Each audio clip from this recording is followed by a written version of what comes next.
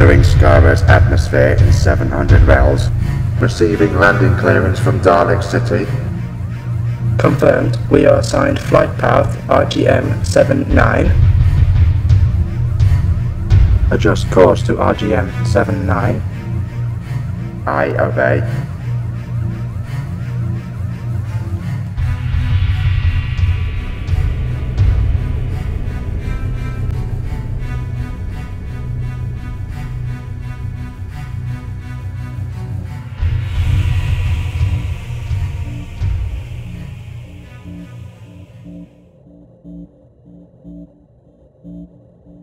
Ship X-304 now entering Skaro atmosphere.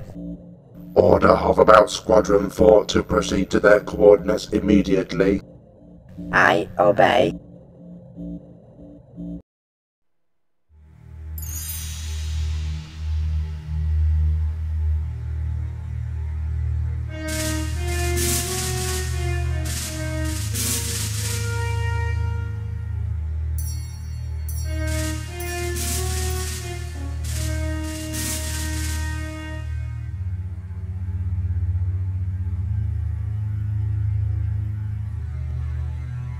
Attention, Squadron 4 to escort duty immediately.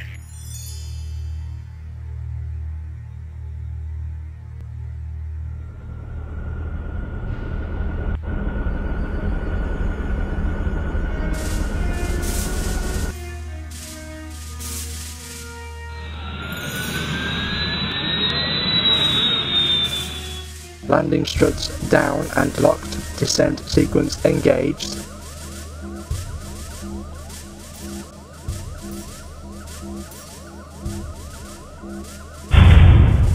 That saucer is landed. Switching gravity compensators to equilibrium. Put the power plant into quiescent mode and unseal the space doors. The vessel is now at rest, Captain. Ship X-304 has now landed. Hoverbouts returning. Inform the Emperor General Zeno will be with him shortly. I obey.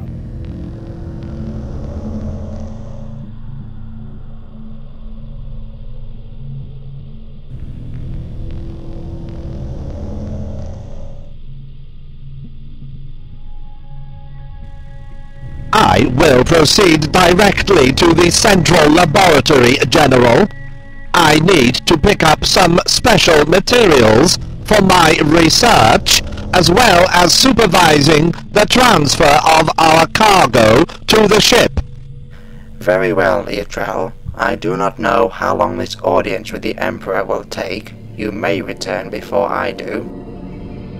Be careful when you meet the Emperor, Xenol. He has not summoned you halfway across the galaxy for the pleasure of your company. I used to have one of the big green ones, and all the handles fell off. Gorg, that black Dalek, that is Xenol, the commander of the First Conquest Army.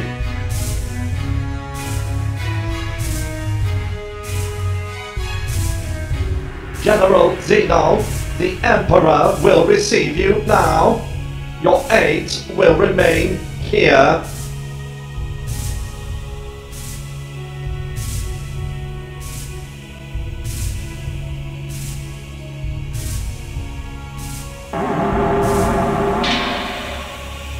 By the Emperor's command, General Xenol of the First Conquest Army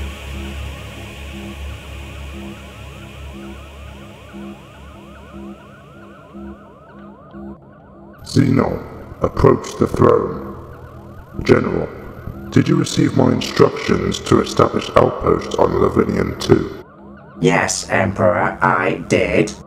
Then why did you ignore them and launch a full-scale invasion of the planet Selept 4? I consider the Seleptians a greater threat to Dalek expansions in that sector, more so than a race of barely sentient arboreal mollusks on a stinking swamp world like Lavinian 2. What is the matter, Xenol? Afraid of getting mud on your fender? Be quiet, Burian. Xeno, that decision was not yours to make. Your orders were quite clear. The Seleptians were organizing an alliance to challenge our advance in that area, and were also encouraging rebellion on worlds already conquered. I felt that exterminating the Seleptians would discourage resistance and serve as an example of Dalek supremacy in that sector of the galaxy. I therefore committed the First Conquest Army to the task of laying waste to Selept 4 and exterminating the Seleptian race, every last man, woman, and larval nymph. An admirable plan if it had been successful, but your invasion force has failed to conquer Selept 4 and has suffered heavy losses. Such heavy losses that your own procreation labs were unable to replace them alone.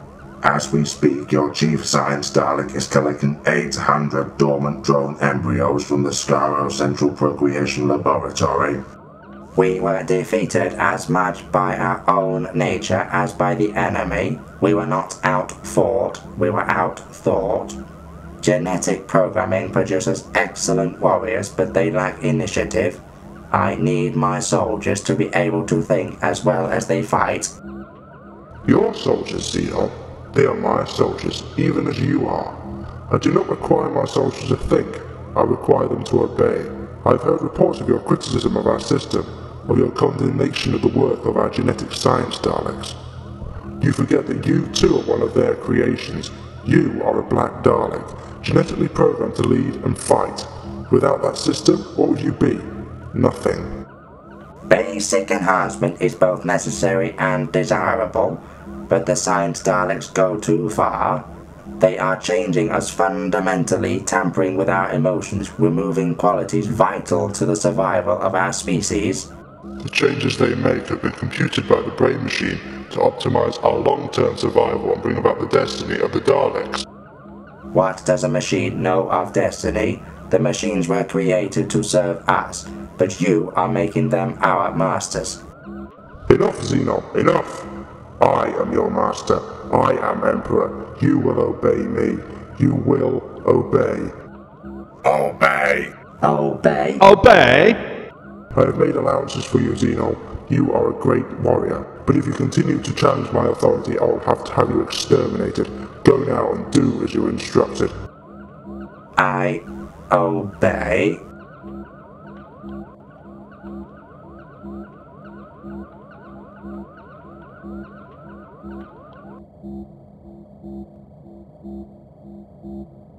You should have exterminated him. Did you see his travel machine? Not a standard design, and not one that has ever been submitted to this council for approval. Xenol is dangerous. Dangerous? Naturally. He is the Black Dalek. You were bred to be dangerous. You simply dislike him because since I elevated you from Black Dalek to Supreme and transferred Xenol from the Third Army to the First Army, he has won more victories with your former command than you ever did. You may be right though. Xeno is too independent. I will reclassify his DNA type as non-conforming. Garin, contact your agents within the First Army. I want regular reports on Xeno's activities. I obey.